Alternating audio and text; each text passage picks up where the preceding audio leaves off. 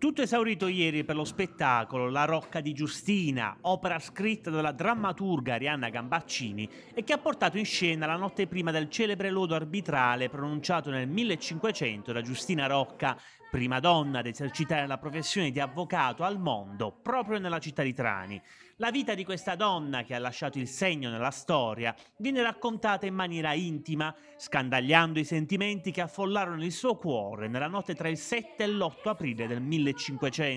e il dilemma che caratterizzò successivamente il corso degli eventi recarsi a Venezia, dove era stata invitata dal Doge in persona come ambasciatrice anche per la città di Trani, oppure sentenziare un lodo in veste di arbitro. Giustina scelse di cambiare la storia, mettendo in moto quel meccanismo che secoli dopo portò le donne a diventare protagoniste nell'avvocatura. Lo spettacolo è strutturato partendo da un'immagine che è l'Achesi. L'Achesi è la parca in mezzo, è la parca che regge il filo ed è eh, da qualcuno anche immaginata come la parca della giustizia ed è eh, l'unica a cui venivano fatti dei sacrifici e abbiamo immaginato che questa parca si stanca di tenere il filo per l'eternità, il filo della vita degli altri e non vivere, quindi decide di andare sulla terra a vivere una vita tutta sua. A portare in scena lo spettacolo, inserito in un ricco calendario di iniziative dedicato alla prima avvocatessa al mondo, Marluna Teatro,